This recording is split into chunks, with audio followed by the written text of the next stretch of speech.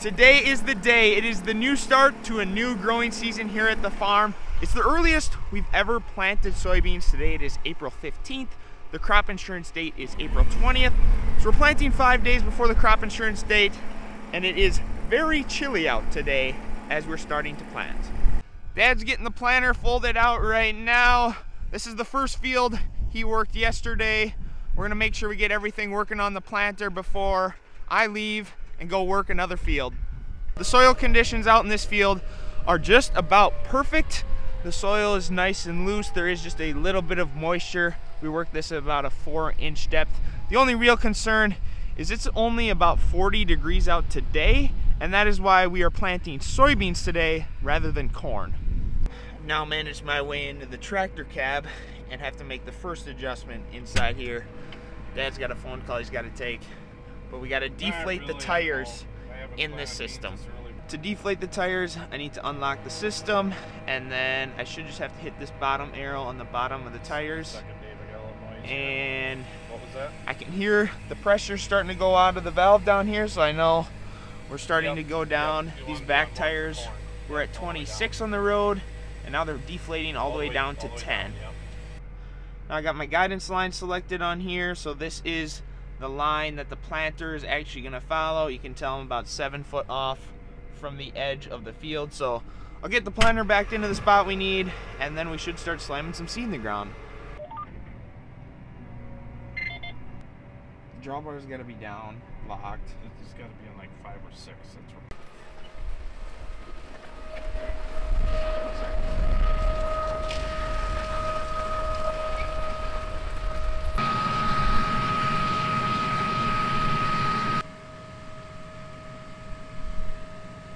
After making that little pass, we're now gonna put everything down just an extra half an inch or a half turn, which is a quarter of an inch. So rather than planting it about an inch and a half deep, we're now gonna be an inch and three quarter. There's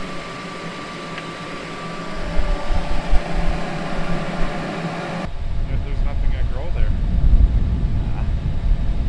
Dad's concern is that I got the first row of the planter a little bit too close to the edge of the field here and it's basically in a lot of these cornstalk residue. Honestly, I don't think it's a huge concern. He thinks it's a big deal, but all these outside edges of these fields are all manually driven, so it's not like it's gonna be perfect. It's not like I'm gonna be consistently six inches away from this berm right here, so he's gonna take it a little bit farther. Otherwise, he's gonna maybe change some things, which is contrary to what I would do.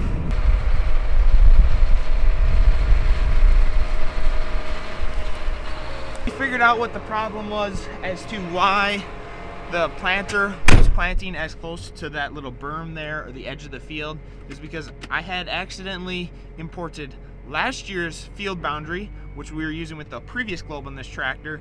So now that we have the new boundary that I made for the new globe since they're using a different correction system I'm about 30 inches over from where we were. So we'll try that now. Hopefully that solves the problem so when you went, you kind of went around the pole like that then? It, yeah, it's man, this is all manually that's, driven. That's what I thought. The only one that's not manually driven is the one on the fence. Over there. Yeah, it's a straight line. This, cleaners look alright. I helped Dad. We went around the outside edge of the field making headlands at this farm. He's just about to go second pass on this field. He'll call me if he has any questions. Now I'm gonna head back up to the farm. We need to start working the next field that we'll be planting soybeans with. So I'll head back up to the farm and get the tractor ready. Made it back to the farm in the last year. Our chariot awaits, our 9R. With the field cultivator, we're gonna be running, preparing the next soybean field to be planted. Now on a typical year, we plant corn prior to planting soybeans, and that's mostly because corn takes longer amount of heat units to grow in the season. Plus, our crop insurance date here in southwest Minnesota is April 10th. We can start planting corn, where for soybeans, it's April 20th. So we're encouraged to plant corn before soybeans, although like I mentioned, we are planting soybeans first this year. Like the field we're gonna be digging today, this will be soybeans this upcoming growing season. And the main reason we're planting soybeans first this year is because normally this time of the year, April, the temperatures start to look like warmer and warmer and warmer every day. Hang on, I gotta start pulling the digger out here. But this year, see we're getting the digger folded out as we're talking, multitasking. But this year, because the temperatures are looking like they're gonna be decreasing, decreasing, decreasing for the next 10 to 14 days, we're gonna start planting soybeans, which have a little bit more tolerance to the cooler temperatures when they're starting to sprout and emerge out of the soil. So basically, we're gonna hopefully spread across a little bit of our workload, start to take off some of the pressure in the back end of planting by not waiting to plant some of the beans. I have my guidance line already selected for this field, so this is the angle I'll be working the field at. So we might as well put her in forward and start letting her till. And here we are, making the first tillage pass of the year for myself, working 46 half and a feet at a time. I'm working roughly 3.3 inches deep have some pressure down on the baskets. Here you can see all the blinds I gotta do yet to complete this field before the day's over. I went a whole round now at the three and a half inch depth. Figured we better jump out, see what kind of job it's doing.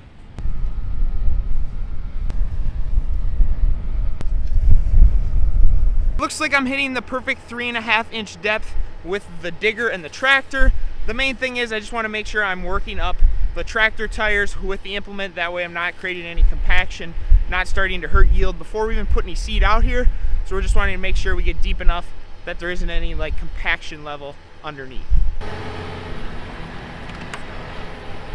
This field that I'm in particularly has a lot of cornstalk residue from the previous year's corn. And that's all. Oh, here, look, a little tornado's coming through. Just little, or what do they call that? A dust devil. There was a little dust devil that just blew through, and that that brings up the point I was thinking of is there's a lot of residue out in this field, a lot of cornstalk residue because we didn't have a lot of snow this winter. We didn't have a lot of moisture, so a lot of that stuff didn't decompose like it usually does. So we're trying to bury some of that with the digger, no more than what we normally do, but it's definitely something I'm managing and looking back for more as I'm driving because if you get too much of that cornstalk residue built up under the digger, it can actually plug the digger and it just basically moves a huge like leaf pile full of leaves the whole time the digger moves.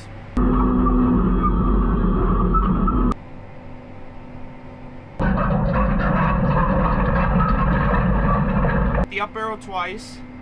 Yep. Okay, now put it back.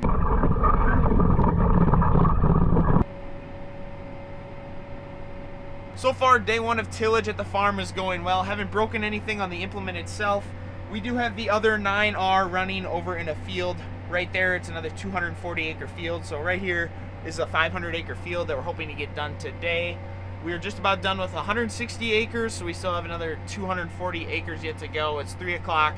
Hoping to get that done tonight because tomorrow the plan is to plant these two farms. In the tractor that I'm running, this has the updated display. They call it the G Generation 5 display from John Deere and this one is really nice. It has this feature where you can just pinch on the map and it'll change the direction that you can see it. You can also pay to have a satellite view of Google Earth, but we don't pay for it since we are just renting this tractor for this spring. And because we're just renting this tractor that I'm driving, once our part-time guy who's in that other field goes home, I will eventually switch over from running this tractor to running the tractor we own because there's no use to putting hours on a machine that we're paying by the hour versus just putting them on a machine that we already use. So we're really only using this machine during the day when our part-time guy's here. So eventually, when six o'clock rolls around, he'll be gone and then we'll jump over into that tractor. I'm doing it. I'm GPS tracking on this line. I'm only going three and a half miles an hour because I don't want to hit a fence post. And so far, it looks like I'm staying plenty far away and that should match exactly with what the planter has. I finished the headlands on that 160 acre field. The guidance around the headlands worked absolutely perfect. I'm honestly impressed. So now I just pulled the, the digger over to, this is my soybean field for the next year. So I figured, you know, it's only right. I want my crop to be just perfect. So I better get out and make sure all of the sweeps are all set and there is nothing broken on the digger before we start working on what is gonna be my 240 acres of soybeans next year. So far, I'm not seeing anything that's broken or looks like it needs to be replaced before we get started.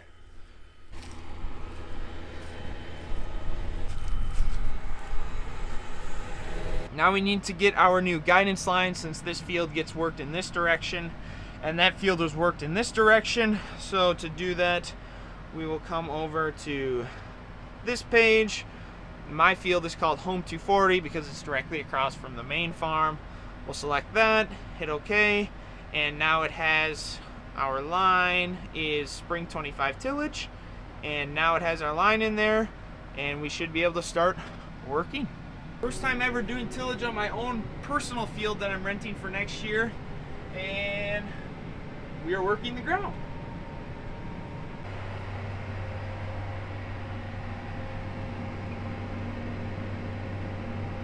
So far I have 80 acres of my field worked.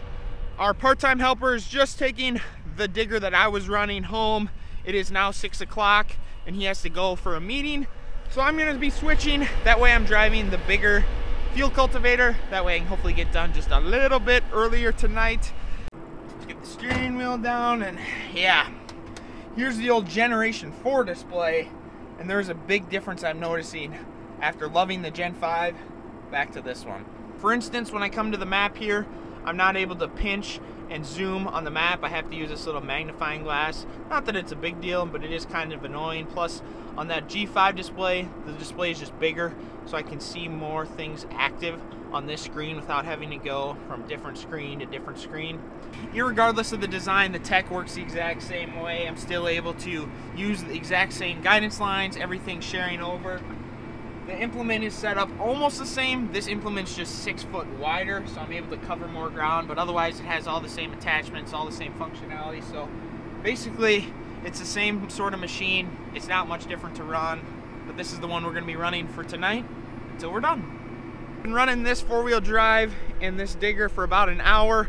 The sun is fastly starting to disappear behind the horizon, so I figured before the sun goes down, we better do a quick one over make sure there's nothing we got to change because it's a lot easier to change during the daylight than with a bunch of flashlights. Everything's looking good so far. Not seeing anything that needs to be fixed, which is a good sign for day one. With the digger checked over now, we'll get back to it. And it looks like we could have a good sunset. So we'll get the drone up, get some cool drone shots for you.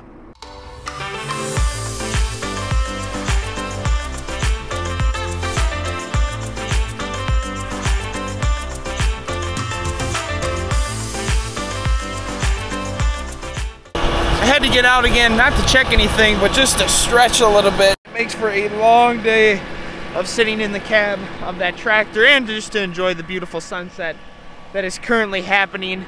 But I was noticing while I was working there and when I had the drone up that this is the field of our, of our farm that last year we had 13 inches across all of our fields and this is the one that we lost about 40 acres of just completely drowned out areas.